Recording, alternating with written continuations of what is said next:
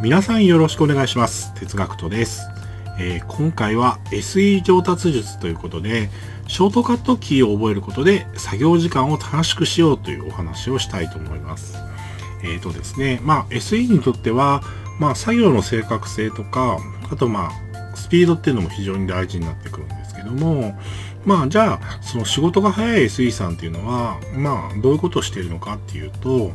まあ一つには結構そのショートカットキーっていうのをちゃんとこう使いこなしていると。で、PC のショートカットキーを覚えると、まあ作業が早くなります。まあ例えばその、あのマウスのクリックで、まあ、操作している場合に比べると、まあ、あのー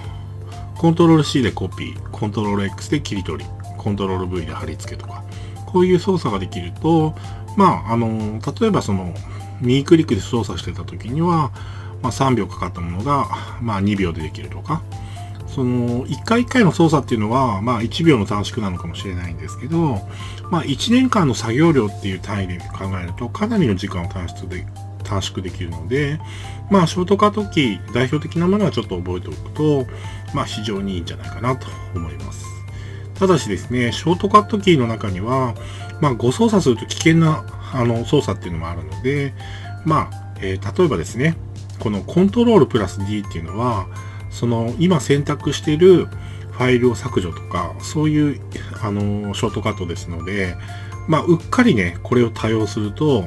まあ、あの、間違えて削除しちゃったりするので、まあ、本当に危険なので、まあ、やめてほしいなっていう感じですね。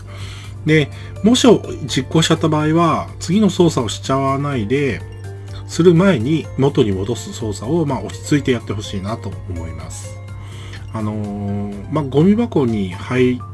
らないでそのまま削除されちゃう場合もあると思うんで、とにかく元に戻すっていう操作を右クリックからすると。あのーなんていうのかな、ショートカットキーに異常にはまりすぎて、このコントロールアルト、コントロールプラス D, D で、あの、大量のファイルを削除しちゃった新人の人を見たことあるんで、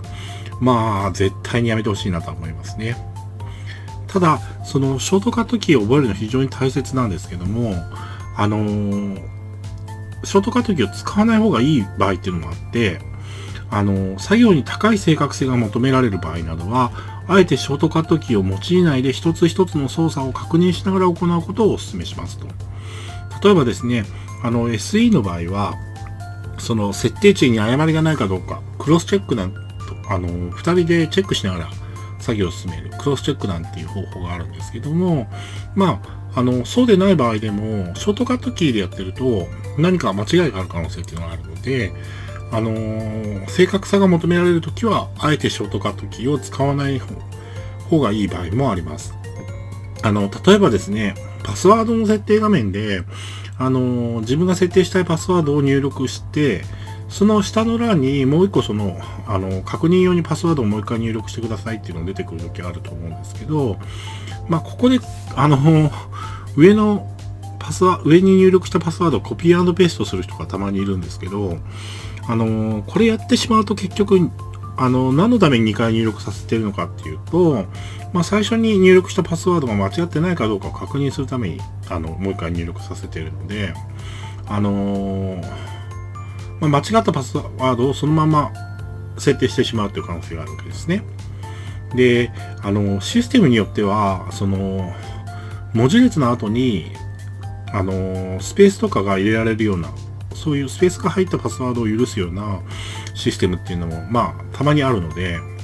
あの、空白が、まあ、あの、パスワードで自分が入れたと思ったやつの後に、空白が1個入ってて、それをコピペしちゃったりすると、まあ、もうずっとこう、パスワードがわからないみたいな状態になってしまって、まあ、非常に大変なことになりますので、まあね、あのーシステム管理者の場合は、その管理者アカウントでパスワードをリセットすることで、まあ、回復できたりするんですけど、まあ、私もこれで非常に一回その思い込みで空白が入ってるやつをコピーしてしまって、ドツボにはまったことがあるんで、まあ、あのーこういう時は、まあ、あえて、あの、急がば回れで正確なパスワードをもう一回入力するってことを習慣づけてほしいなと思います。まあ、ショートカットキーは、まあ、あの、非常に便利ですので、まあ、代表的なものは、あの、早いうちに覚えてしまって、で、効率化すべき作業は効率化して、で、あの、慎重な確認が求められるような作業に時間が使えるようにしていくのがいいんじゃないかなと思います。えー、もしこの動画が参考になりましたら、チャンネル登録の方もお願いします。えー、どうもありがとうございました。